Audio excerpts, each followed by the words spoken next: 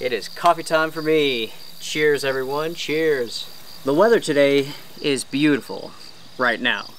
It's about 58 degrees, it's a little breezy, the leaves, oh my gosh, incredible. But there is rain coming in.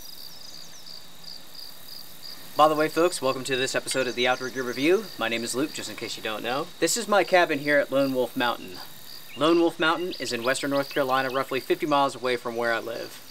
I'm saying this just in case you haven't seen any previous episodes, but this is my cabin up here on top of my mountain.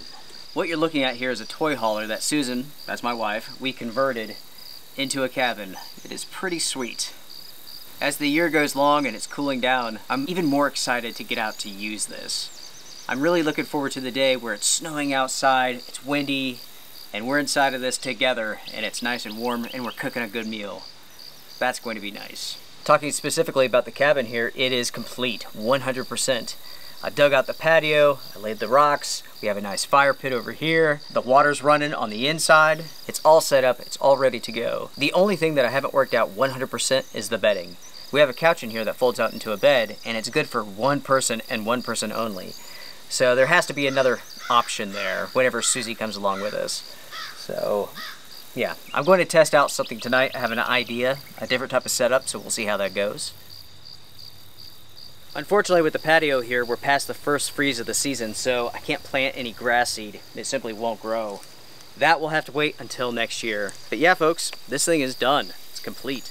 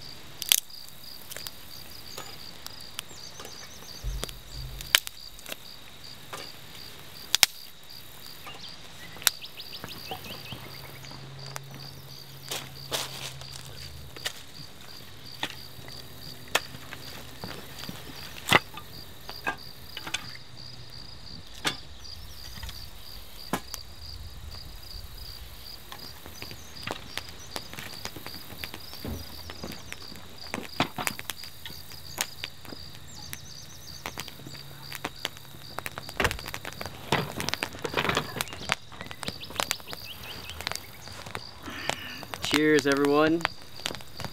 Now this is nice. Originally, I was going to go out for a backpacking trip, but over the last couple of weeks, I've had so many requests to come back to the cabin, here I am. Plus, I wanted to give you all an update on this. This cabin has been working out so incredibly well. For an example, when I come out to do some like test night episodes where I'm testing out the waterproofness of tents, this is invaluable. I can set the tents up, I can monitor them. It's really nice. There's a big line of storms coming this way. I'm not sure exactly what time that will arrive. Probably sometime in the night. But as is, we are surrounded by showers, storms, but we're lucky folks. I don't think we'll get wet for a while. That's why I went ahead, got the fire going. That way we can kick back a little bit before it gets dark. The day after tomorrow, everyone, Susie and I were heading off the mountain. We're going to go see our son, Lucas, who's in college. I cannot wait to see this guy. I tell you what, folks, Lucas is such a cool young man. Lucas left for college in the summer, and now he's into his fall semester. He loves it. He's having a great time. In fact, he just got his first job, first college job, and he's working for the police department. He's going to be doing security alongside the police, which I think is going to be the perfect job for him.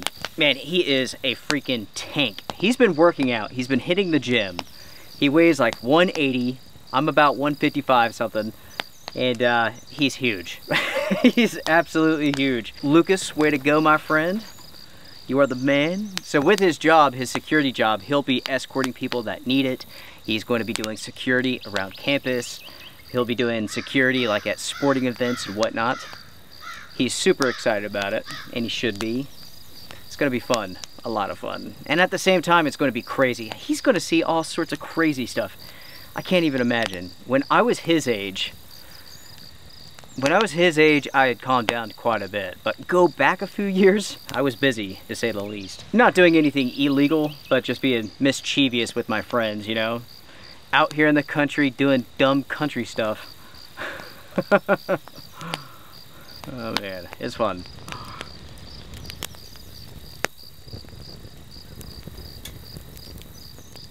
Lastly, as far as the updates go, Susie's doing great. You all will get to see her very soon we are planning to do some sort of road trip as soon as we get back from seeing our son.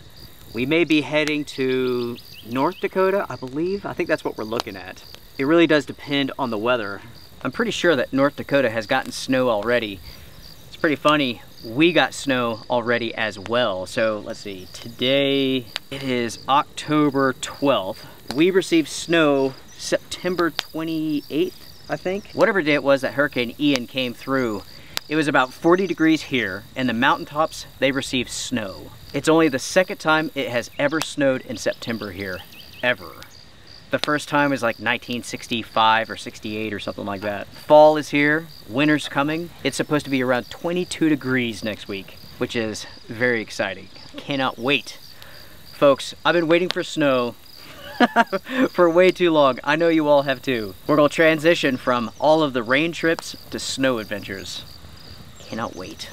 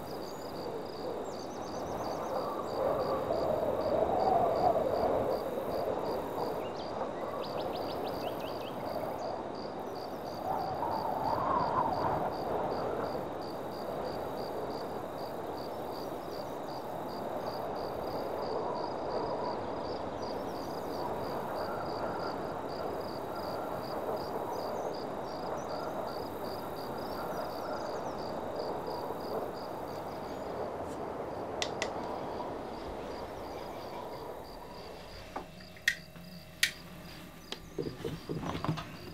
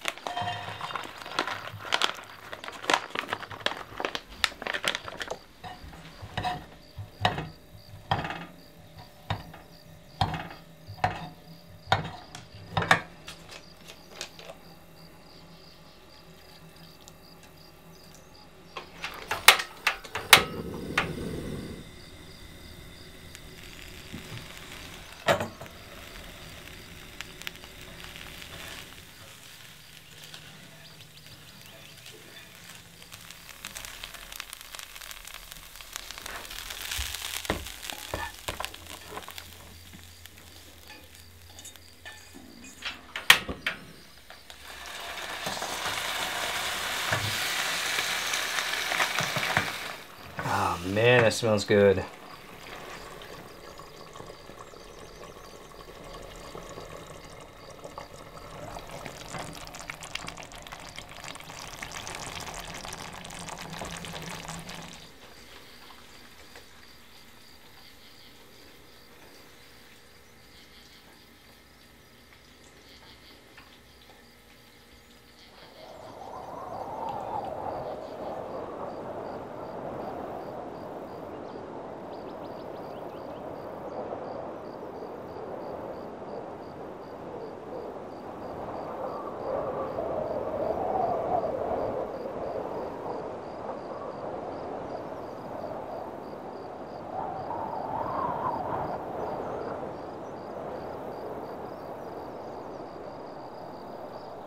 Everyone, this smells incredible. We have some jasmine rice, Hawaiian chicken, pineapple. Oh my gosh. I should just turn the camera off now so I don't trigger people by like moaning and groaning on how good this is. Because this, oh man, looks amazing. Here we go.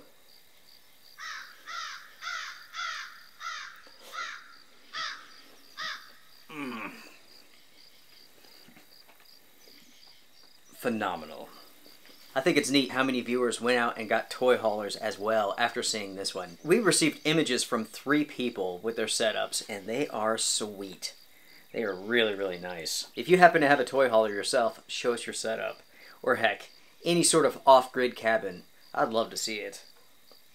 I think it's always interesting to see how people do things because it's always different. Everyone has a different way of solving problems, and I personally find that very interesting. I mentioned in a previous episode some things that I was thinking about for next year motorcycle camping, or possibly a UTV camping, or a Japanese import like four wheel drive, that sort of camping. I've received a ton of feedback from you all. The smallest percentage wanted to see moto camping. Most people didn't seem to care about that. Most of the emails that I received were people begging me not to get a motorcycle because they're so dangerous. And folks, I do appreciate it. The number one choice, without a doubt, was the Japanese import. If you didn't see the previous episode, I was talking about a Japanese import. You can get Land Cruisers from Japan fairly inexpensively here in the United States.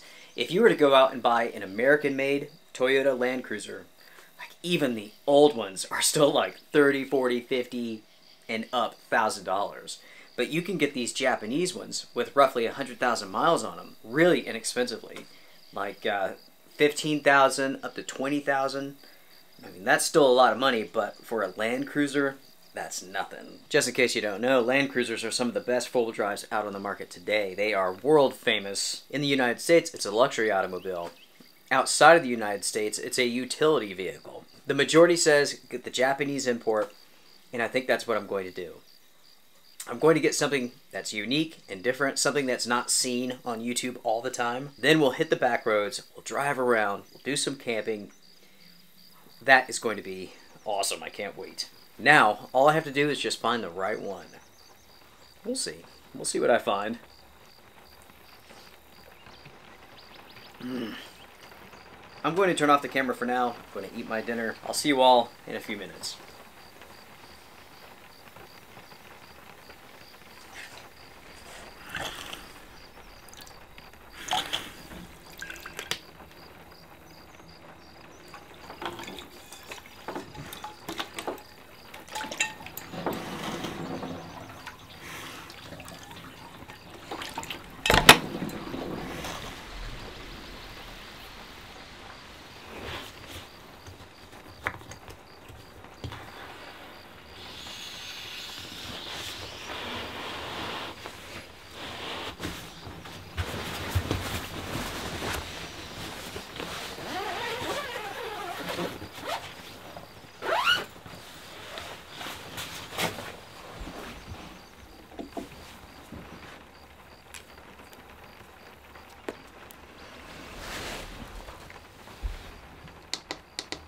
Give us a shot. Whew. Without a doubt, this mattress is insanely comfortable. And the pillow, it's actually not bad. 6.30 comes early, everyone, so I'm going to say goodnight now. Yeah. Sleep good. I'll see you in the morning. Good night, folks.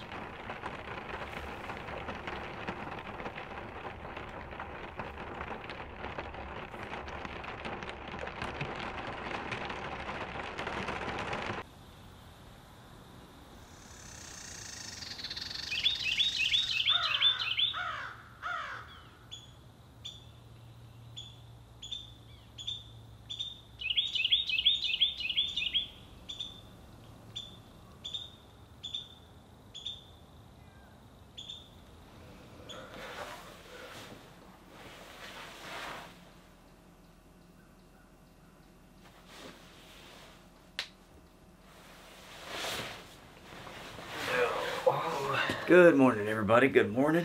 It's about 7.30. Slept in a little bit. Oops. ah, it's chilly and brisk this morning. But it looks to be pretty outside. As far as the rain goes, it rained basically all night long.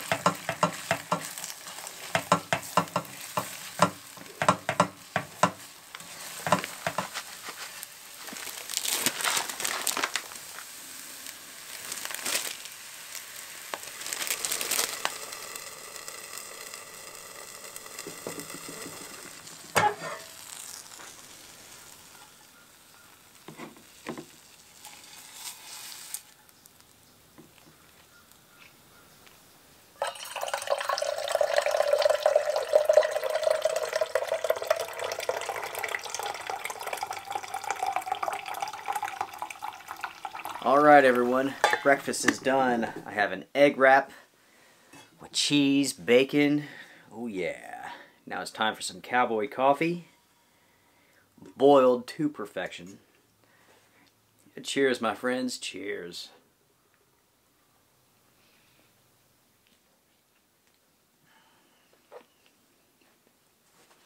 Mm-hmm.